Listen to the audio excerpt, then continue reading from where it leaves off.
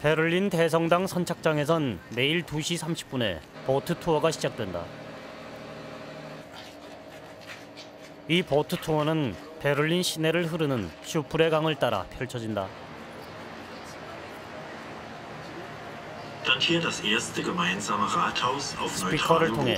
안내원의 설명이 흘러나온다. Fahrstuhl 16 Meter durch 중앙도서관의 고풍스러운 분위기와 동베를린 지역의 단조로운 건물 사이로 보이는 옛 교회 건물은 오랜 세월을 이어온 베를린의 역사와 문화를 말해주는 듯했다.